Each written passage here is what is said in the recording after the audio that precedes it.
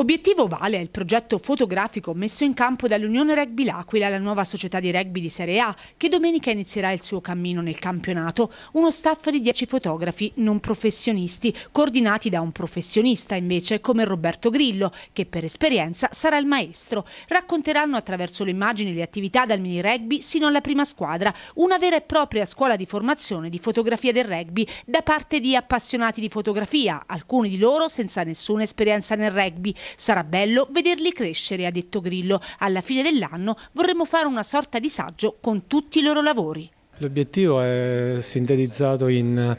eh, innanzitutto produrre materiale per un uso chiaramente sia personale proprio della società e sia per organi di stampa come è normale che sia e come secondo obiettivo è quello di costruire, quello di creare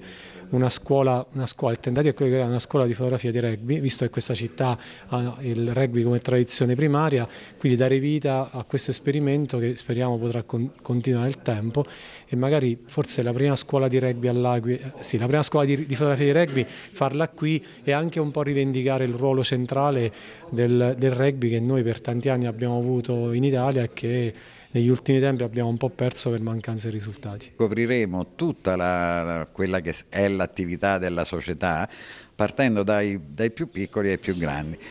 cosa che negli anni passati non è accaduto e voi capite bene che questo significa portare all'esterno l'attività dell'Unione Rugby L'Aquila